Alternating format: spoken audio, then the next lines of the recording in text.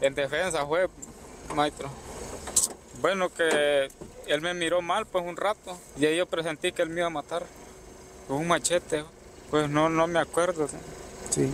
No le puedo decir cuánto. Sí, ¿Sí? yo quedé arrepentido, sí, de haber arrepentido, yo se lo digo de corazón.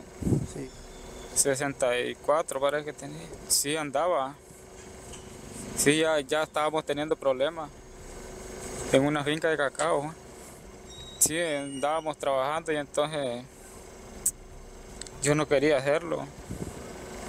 Yo no quería hacerlo y entonces me vi obligado, pues, porque yo sentía que ya me ponían solo.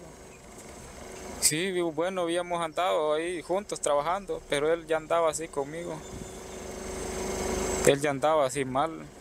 Solo nosotros dos estábamos ahí en la casa, la Jaivita. Sí, el Cuyamel para arriba. Sí.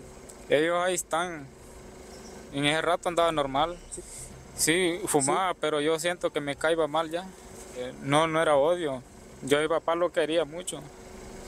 Yo a mi papá lo quería y entonces yo estoy arrepentido porque no me acuerdo qué día fue, pero bueno, yo me vine para arriba porque quería trabajar pues y, y como uno a veces piensa cosas así, va, que puede dejar así nomás las cosas y no son así. Yo entiendo que no, yo estoy consciente y arrepentido sí, al mismo tiempo que ya no tengo a mi papá.